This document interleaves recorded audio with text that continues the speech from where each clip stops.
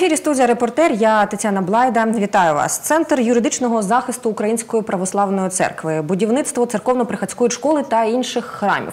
Про ці та інші проекти, які реалізуються за допомоги народного депутата Сергія Ківалого, поговоримо з гостем студії. До нас прийшла ігуменя Серафима, настоятелька свято Архангело Михайлівського монастиря. Вітаю вас. Дякую, що прийшли до нас студію. Доброго дня. Перше питання моє буде про центр юридичного захисту Української православної церкви, бо нещодавно він відкрився у травні. Як взагалі ви оцінюєте його відкриття? І от навіщо юридична допомога потрібна потрібна церкві? Не лише я, всі ми православні, парафіяни і вірні Української православної церкви позитивно це сприймаємо. Дело в том, что наши права брутально попираются. Это связано и с переименованием Украинской Православной Церкви, которое предприняла Верховная Рада вопреки Конституции, вопреки всем законам Украины, а также с насильственным внедрением так называемого Томаса. Мы видим, что отбираются храмы, мы видим, что верующих вызывают в СБУ на допросы, э, совершаются обыски, изымается непонятная литература, приклеиваются ярлыки. И именно из-за этого люди начали пытаться защищать свои права. Но кто же нам поможет, э, как не профессиональные юристы?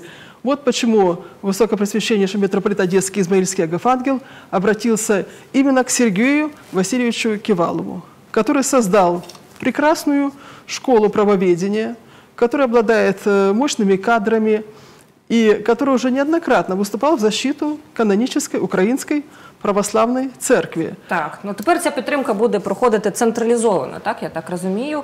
Е, Чи були вже факти підтримки якоїсь, я не знаю, якісь справи е, розглядали, можливо, юристи з юридичної академії?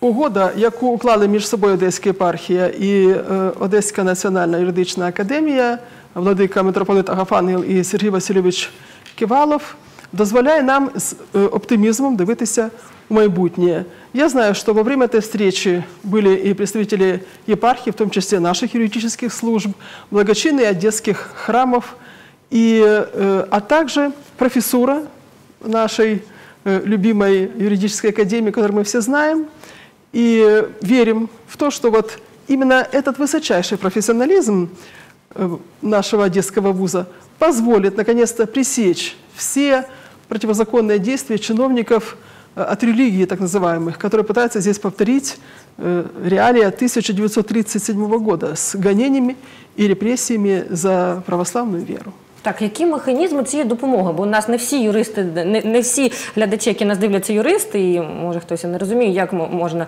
юридично допомогти, аби е, на вас не тиснули або не захоплювались храми. Як це, як це відбувається? Подаються Это е, сделать позови очень- до суду? Это сделать очень просто на самом деле, потому что 99% э, всех тех нападок на нас, этих рейдерских атак, совершаются вне э, юридического, вне законного поля. Поэтому мы подаем, конечно же, в суды и защищаем э, наши права. Вот здесь вот. І вас підтримують На- юристи з юридичної академії. Да, на так? этих площадках. С помощью, конечно же, э, адвокатов э, Одесской юридической академии, с помощью юристов и с помощью самого Сергея Васильевича Кивалова, который имеет большой вес э, и в Киеве, и в Верховной Раде, и среди представителей комитета Верховной Рады. Мы уже видим, как этот процесс, вот я бы сказала, э, просто каток репрессий на ходу остановился после этого. Так, ви відчули себе в безпеці. Да, безусловно. Е, Про захоплення церков. Я знаю, що вони відбувалися в Саратському районі Одеської області. Е, Свято-Покровський храм був переданий новоствореній структурі, яка називається ПЦУ. Аналогічні рейдерські захоплення були в селах Михайлівка та Ярославка. Е, от, е, п- Ви зараз, ну ви зараз сказали, що почуваєте себе в безпеці, але інші ваші, скажімо так, колеги, церковнослужителі, м, почувають себе в безпеці після ти- того, як е, от, м, ми повідомляємо про захоплення храмів? Ви добре обізнані, ну так і має бути. Журналісти мають бути на вістрі подій. Да, э, действительно, эти события да, всколыхнули православную общественность. Сейчас э, вся эта работа перешла э, в судебное разбирательство, и мы знаем, что правда на нашій стороні. Угу. Як ви думаєте, як ви прогнозуєте, чи будуть ще захоплення храмів в Одеській області і не тільки, і в інших? Я прогнозую, що в нашому регіоні більше ніяких захоплень не буде. Так, і ви це вірите. Е, Добре, головний об'єкт соціального будівництва під патронатом Сергія Ківалова це об'єкт називається церковно-приходська школа. І ви дуже добре знаєте про її будівництво. Як ви взагалі оцінюєте такий об'єкт, е, як він з'явився і яку він функцію, мету за собою несе? Я бываю в различных странах, в э, командировках, на послушание езжу по благословению блаженнейшего митрополита Ануфрия и высокопресвященнейшего митрополита Агафангела. И я вам скажу, в православных странах такая практика существует и давно.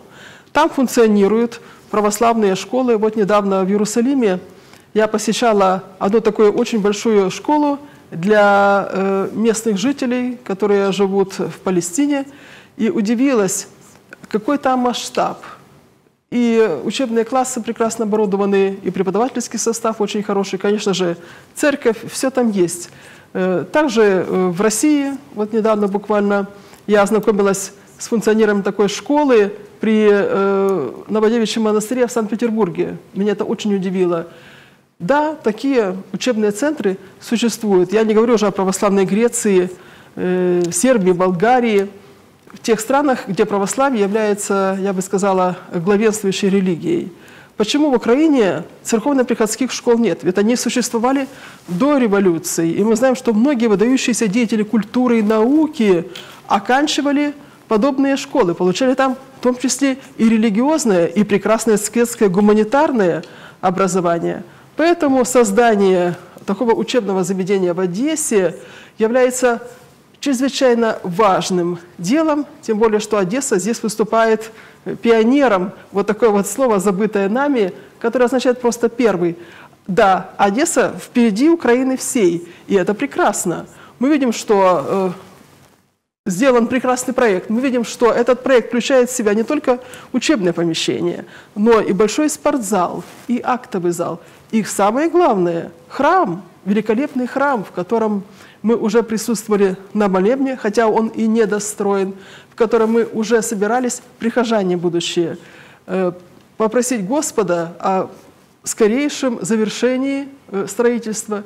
И мы верим, все вместе верим, все одесситы, что наши дети смогут ходить в эту школу и получать там то образование, э, которое мы так хотим, хотим вложить в їх уми і серця.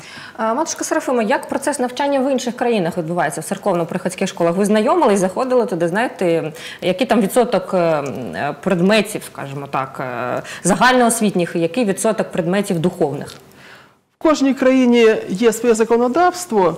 Отже, відповідно норм цього законодавства і будується учбовий процес. Стосовно нашої одеської э, приходской школы, я знаю, что здесь этот процесс будет осуществляться на очень высоком уровне, потому что у нас в Одессе уже много лет э, существует и лицей при Одесской юридической академии, и уже некоторые э, другие учебные заведения начали с ней сотрудничать. Родители знают, что если они отдают своего сына или дочь в юридический лицей, или в любое другое учреждение, которое сотрудничает с ОНЮА, ребенок будет воспитан, здесь будет серьезная дисциплина, не будет вседозволенности, расхлябанности, тем более не будет тех пороков, которые, к огромному сожалению, преследуют наших детей на проге любых других школ, что греха таить.